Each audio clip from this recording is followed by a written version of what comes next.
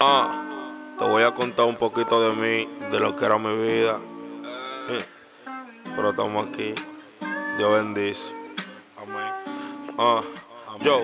Nací en el 92, a los 9 años murió mi madre, me crié sin pai, en este mundo muy rural. Ay, terminé la escuela por mi abuela. Nunca me gustó estudiar, por eso aguanté mucha pela. Eh. Mi sueño siempre fue ser cantante, tener una jipeta y una cadena en diamante. En un sueño Dios me dijo que me aguante, que todo eso me lo iba a poner, pero más para adelante. Que todo tenía que ser un proceso. Tú no sabes lo que levantarse sin un peso, día tras día atrás de eso.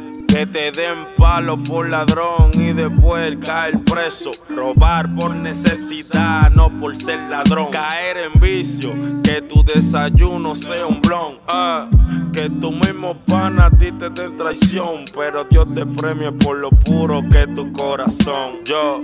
Nunca le he hecho daño a nadie, por eso Dios me dio todo lo que tengo. 25 años, yo mismo me mantengo. Una familia hermosa en este mundo de espinas, yo pude sacar rosas.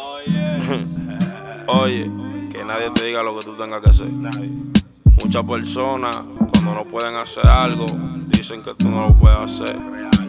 En Dios, cree en Dios, dale rodilla a Dios que solo Él sabe lo que tú estás pasando ahora mismo. Y Él pone muchas pruebas, por Él le pone las peores pruebas a sus mejores guerreros.